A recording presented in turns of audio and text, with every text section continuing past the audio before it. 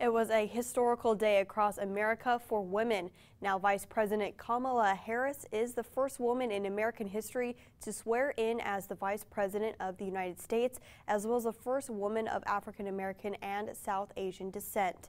St. Joseph's Junior League, an organization dedicated to empowering women and working in the community, reflects on the importance of this day and what it means to not only the country, but St. Joseph as well this is just a great example of showing empowerment to women that it's taken how many years for a woman to be elected into this position and now little girls can look at this and say hey i can make it to the white house someday.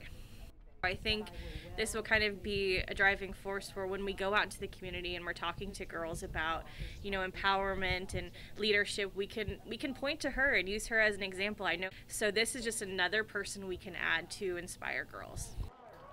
First Lady Dr. Jill Biden is also making history as she is the only First Lady to hold her day job while her husband, President Biden, holds office. Jill Biden is an English professor at Northern Virginia Community College.